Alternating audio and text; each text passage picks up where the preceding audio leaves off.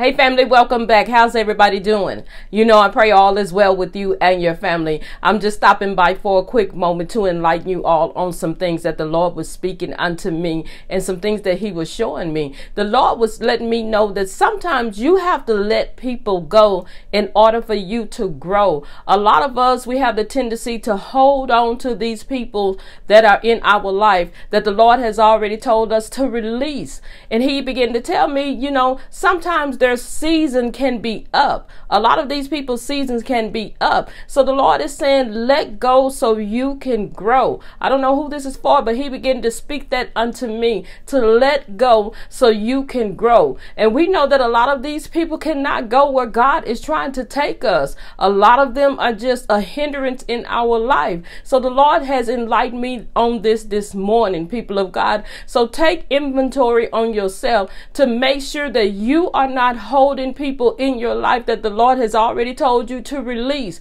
So we have to be careful in this hour because we know that the enemy does not want us to reach our destination, people of God. So pay attention to what God is saying in this hour. I know a lot of times we have that favorite cousin or that friend or co-worker, you know, that we just like for them to just hang around us, but a lot of them are not believing like you are. The Lord began to show me that that a lot of these people they don't even believe like you. We have to let them go, people of God, in order for us to grow in this season. God cannot take us to the next level because we are still holding on to some things that he have told us to release release.